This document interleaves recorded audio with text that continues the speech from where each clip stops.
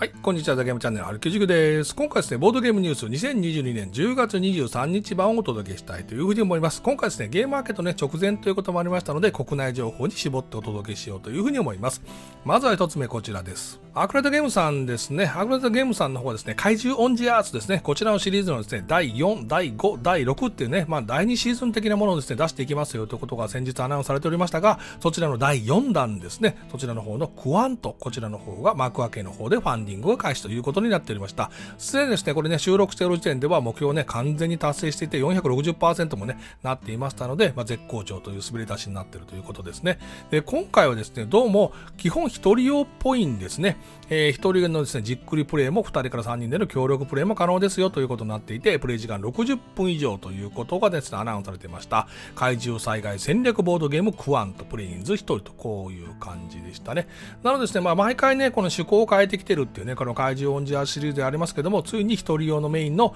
バージョンの怪獣の、ね、ゲームが出てきたということになりましたね。かなりですね、ファンディングの対象によってですね、まあ、追加グッズが出たりですね、いろんなことが毎回するっていうのはこのゲームでね、基本になっておりますけども、今回も基本の8800円のパックからですね、こうしたですね、豪華パックって、2万1000円のパックとかですね、さらにね、別の2万2000円のパックとかね、いろんなものがありますので、気になることに応じてですね、ファンディングしてみるのもいかがでございましょうか。ちょっと1人用はね、今までなかったので、私もね、どうなってるかっていうのは気になりますね。さあ、お次こちらですね、同じくアクライトゲームさんですね、えー、カスカディアを手掛けたですね、ランディ氏による新作タブリーズをですね、こちらのですね、日本語版制作が決まりましたということになっていましたね。えー、イランのですね、街の名前を冠した本作をですね、綺麗な絨毯を作るために物々交換を繰り返し、自分のワーカーをですね、様々な店に訪問させていきましょうということになっていましたね。こちらタブリーズの方はですね、日本語版を含むクラウドファンディングは10月の24日月曜日ですね、このニュースの配信の翌日ですね、23日から開始ですよということになってっています。で、こちらですね、タブリーズですね。なので、こちらね、こういう写真がありますけども、この絨毯をね、作ってるっていうことがね、メジャーな街なんですけども、こちらの方ですね、庶民からなんからですね、様々な絨毯の注文がやってくるので、それにですね、応じた絨毯を作って納品していくことによって自分の名声を高められますし、それがうまく高まっていけば、王族とかですね、貴族とかね、様々な高貴な方からの注文も舞い込んでくるので、そこで自分の名声がさらに上がっていきますよってね、まあ、一見すると非常にオーソドックスな契約達成型という風になっているようですけども、そういったゲームが出るということになっていましたね。ちょっとやっぱ気になるのはですね、やっぱ非常にですね、このね、ランディさんのね、デザイナーだけあって、短いんですね、30分から60分ってなってるので、非常に軽妙なプレイ感じゃないかなというふうに思ったりいたしますね。この辺も要注目じゃないかなというふうに思います。さあ、お次こちらですね、同じくアークライトゲームさんですね、ゲームマーケットですね、2020年秋のお品書きということで、えしばらく前のニュースの方ですね、アークライトゲームさんの方はですね、ゲームマーケットの方にいろいろ持ってくるようですよということをですね、お伝えしておりましたが、どのゲームが確定で持ってくるかっていうのはね、まだちょっとわかりませんということでね、私ね、お知らせしておったかと思います。でいよいよこれが決まってきましてですね、先行発売としてはエクリプス第2版ですね、これやっぱ確定で来ると。そしてキーフラワーも来ると。で、エルドラドを探し、ムイスカも来るということになっておりました。で、ちょっとやっぱ気になるのはこの2つですね。え1つですね、このフランク拡張、猿王の神殿ですね。もうついね、先日ですね、これね、黄金と雲の糸が出ますよと言ったばかりですけども、同じですね、ブリスターパック的なですね、小規模クランク拡張の猿王の神殿も出ますよということになっていましたね。なんでこれゲームマーケットのところでね、買えるようですね。で、合わせてこちらですね、ネメスロックダウンですね、予約できんかったわってね、これたくさん聞きましたけども、こちらの方もゲームマーケット会場なら買えるということになっていたのでね、まあこれを狙うのもありじゃないかなというふうに思いますね。で、こちらですね、まあ猿王の神殿なんですけども、2019年で出てたので、このクランクの拡張セットね、ここに来て急に一気にですね、国内ラインナップが増えたなという気がいたしますが、今回はですね、栄養の神殿があると言われるですね、ジャングルですね、ジャングルの方に入っていて、そこからですね、中の神殿の方に入っていくと。で、もちろん中にはいつも通りお宝がありますよということになってますが、この猿たちがですね、残していた不滅のガーディアンが守っているので、今回はドラゴンじゃなくてガーディアンなんですね。えー、こちらからですね、うまく逃げ出して、いつも通りお宝をね、ゲットして出ていきましょうと、こういう仕掛けになってましたね。まあ、このクランクシリーズね、もう味変したらいくらでも作れるよってことね、いつも思うわけでございますけども、今回はジャングルへの冒険ということになっておるでした。細かい仕掛けやなんかのところはね、私もちょっとまだ分かっておりませんけども、こちらクランクファンの方は要チェックではないでございましょう。さあ、お次こちらですね、ホビージャパンさんですね、ホビージャパンさんのですね、ゲームマーケットですね、会場でのですね、まあ、グッズやなんかの方が発表されてまいりました。こちらですね。えー、一つですね、 Cat in the Box ガシャガシャ &T シャツですね、もうべらぼうに可愛いこのアートワークでございますけども、アクリルバッジとかマグネット、クリスタンドなどが入ったですね、ガシャガシャ1回400円というのがですね、お一人様4回までということが発表されてますし、これめちゃくちゃ可愛いですね。えー、もう一つが T シャツですね。こちら同じく Cat in the Box の T シャツ SML のですね、3種類が販売されますよということになってました。ゲームマーケット秋限定だそうでございます。で、合わせてですね、こちらですね、コロージョンスカイマインの金属製アップグレードパーツをですね、私このスカイマインのちょっとね、これ欲しいんですけども、えー、こちらも1000円ですね、えー、こちらの方ですね、お一人様1点限りということで販売されるということになっていました。まあ、そもそもですね、買ったらですね、そこでワンパーツセットね、くれるとなっていますし、まあ、単体でも買えるということで、これはですね、気になってた方は要チェックではないかなというふうに思います。合わせてですね、新作告知パズルですね、毎回ね、ゲームマーケットのところでね、オビジャパンさんやれてますけども、まあ、次回以降のですね、新作っていうのが、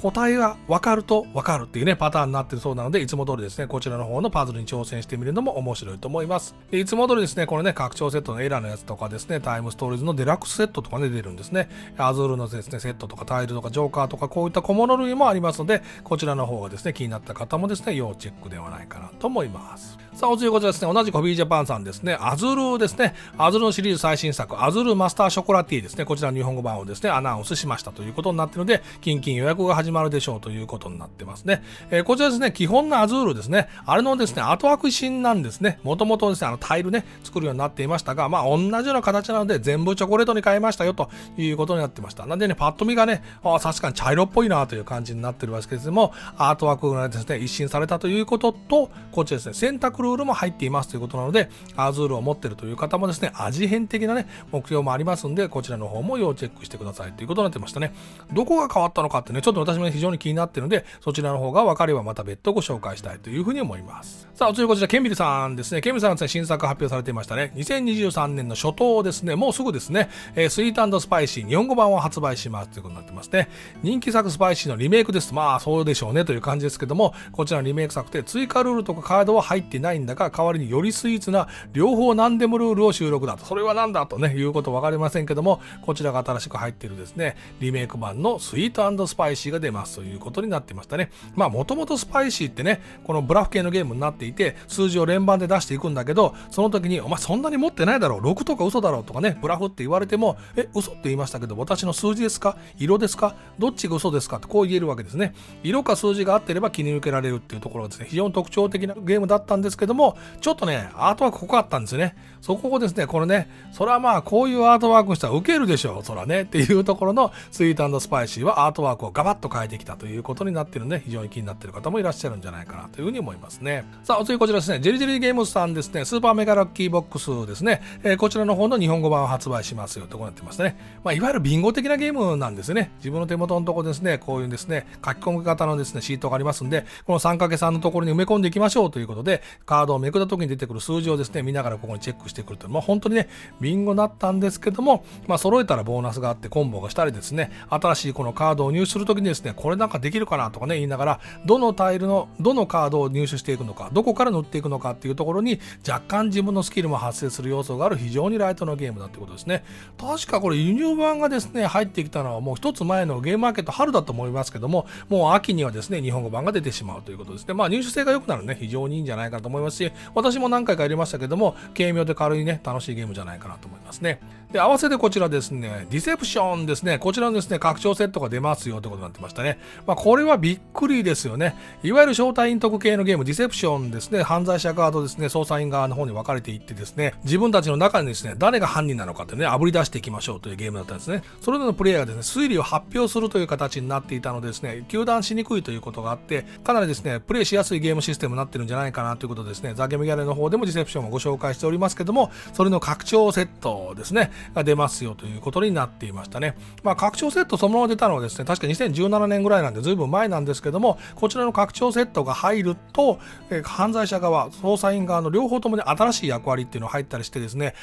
今までと違う感覚でプレイすることもできますし、これね、もちろん言語版のね、アート版なんですけども、すげえわけわからないカードもね、ブワーっと入ってるんですね。レーザーシャークとかでどうやって殺すねんとかね、こんなのがあるんですね。デスレイってなんやねんとかあったりするわけですけども、まあ、こうしたですね、新しいですね、手がかりとかですね、狂気っていうのも入ったりするので、従来と違った形でですね、プレイするということが面白いんじゃないかと思います。まあ、実は私ですね、ディセプションプレイした時に、このバージョンで結構やらせてもらったんですよね。なので、まあ、これも全然普通にお前あ、いつものレーザーシャークだなとか思ったりするわけですけども、まあ、確かにこの辺が入ったりすると面白い。ただ、ここちょっと書いてるね、キックスターターかもしれないんで、これが入ってるかどうかごめんなさい、ちょっとわかりませんけども、まあ、この辺の新しいやつがですね、非常にわけわからないやつが入っているので、これが入った方が面白いんじゃないかなというふうに思います。ちょっとね、今ね、大人数集まりにくいっていうね、まあ、現状ではありますけども、まあ、持っておいて損はないんじゃないかな、というふうに思いますね。で、お次こちらですね、ちょっとね、変わった話ですね。ピオゲームズさんですね。ドイツのボードゲームパブリッシャーのピオゲームズさんということで、これドイツのメーカーなんですね。えー、こちらの方が日本語でアナウンスされてまして、第1作、オイルタウンを発売しますということですね。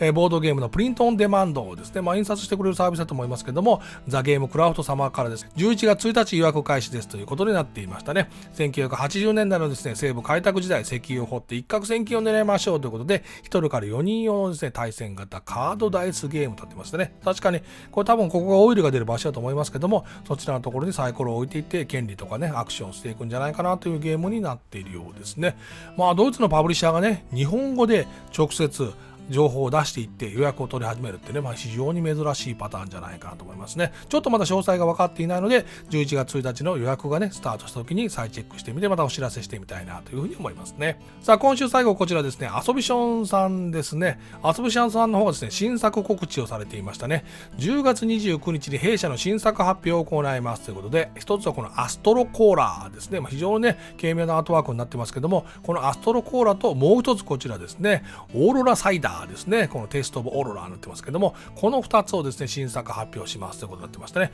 まあ、これがですね、正式タイトル名なのか、コードネームなのか、ちょっとわかりませんけども、いずれにせよボードゲームギークには両方ともありませんでした。この2つのですね、新作発表ということになっていますね。遊びちゃんさんといえばですね、10月29日は確かゲームマーケットの会場にね、いらっしゃってると思ったので、えー、そちらのところですね、詳しいことが聞ければお伺いしてこようというふうに思いますが、いずれにせよもこの10月の29日にはですね、新作のオーロラサイダーと、えー、こちらですね、アストロコーラのね、2作を発表しますということをアナウンスされていましたので、こちらの方もね、興味津々でございますね。というわけでですね、ボードゲームニュース2022年10月23日版をお届けいたしました。いやーまあゲームマーケットね、直前になってきましたんでね、まあ、いよいよ細かい情報出てきたなというふうに思いますけどもね、こちらね、あと1週間楽しみでございますね。というわけで、ボードゲームニュース2022年10月23日版をお届けいたしました。ザゲームチャンネルの春99でした。はい、動画をご覧いただきましてありがとうございました。ザ・ゲーム屋チャンネルですね、ボードゲームの専門チャンネルになっておりまして、様々なボードゲームのレビューとかですね、プレイレポートなどをお届けしております。もしですね、このチャンネルをお気に入っていただけましたらですね、チャンネル登録とかですね、個別の動画へのいいねボタンをよろしくお願いします。ザ・ゲーム屋チャンネルの春99でした。